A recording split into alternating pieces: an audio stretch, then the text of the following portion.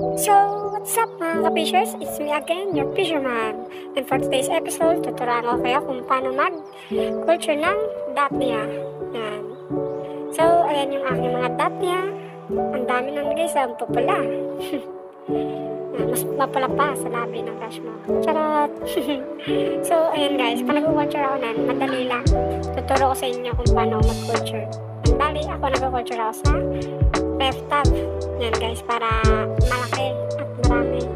Marami tayong ma-culture. Yan guys, sa left tab lang ako nag- nagko-culture ng dot niya. Ang bali meron ako limang tab dito. Isa, dalawa, yung pangatlo,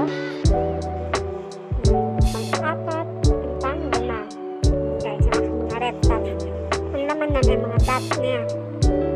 Hindi, so, ang dami nun or water fish. Tama ba? Water fish yan. Basta dot niya. Yan, ayun, ayun ay mga magna dot niya. Yan, mas malaki sila sa Moina. At madali lang sila i-culture talaga at paramihin. Ang ginagamit ko pala dito sa pag-culture is talisay extract lang guys. Napakadali lang nito padamihin kung tutuusin. Ah, sa- ito is ano lang at sa experiment ko lang at natutunan ko sa YouTube and ginawa ko talaga siya para malaman ko kung effective talaga. Ang bakit ginagawa ko guys is kung kumukuha niyo ng talisay sa daon ng saging, tuyo guys. Tapos iba, ilalay ko sila sa ref tab. Ibababad ko sila doon ng matagal halos one week para magkaroon sila ng infusoria. And then, para nagkaroon sila ng infusoria, nagkukulay ganun nga yan yung kulay empty lights ko. Tapos, pa nagkulay na yan, sa walang ilalagay yung mga dot niya. And bali yung tali extract yung kanilang magiging pagkain and then yung mga infusoria. Yan. Ayun lang yung ginagawa ko and pag sobrang labo nung tali sa extract, pag tumagal, nagiging ganun din sila.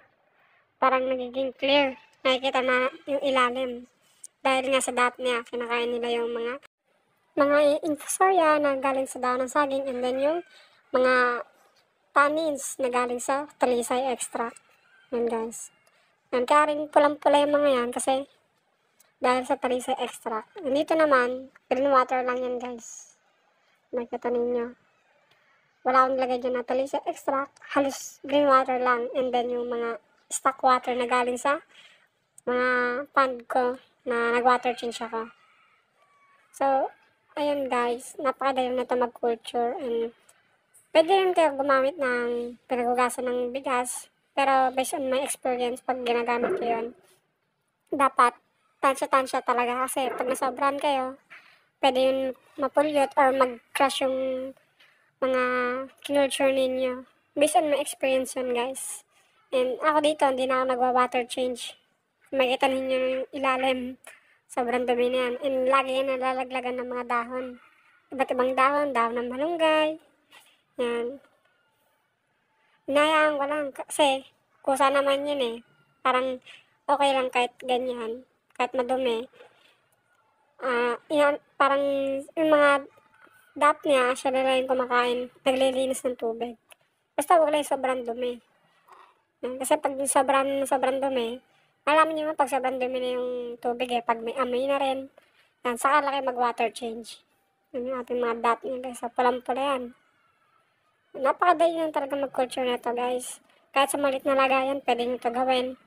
Yung talisa extract lang, pwede na yun, kang green water. Yan, ito naman, hinayaan ko lang oh. Tignan nyo, sobrang dumi na, pero buhay na buhay pa rin yung dap niya dyan. Pag tumagal yan, lilinaw yan dahil sa dap niya. Kasi, kinakain na nila yung mga infusoria dyan, and yung mga extract. At yun lang guys, sana meron kayo natutunan. And baka naman, subscribe na kayo. yun lang po. God bless.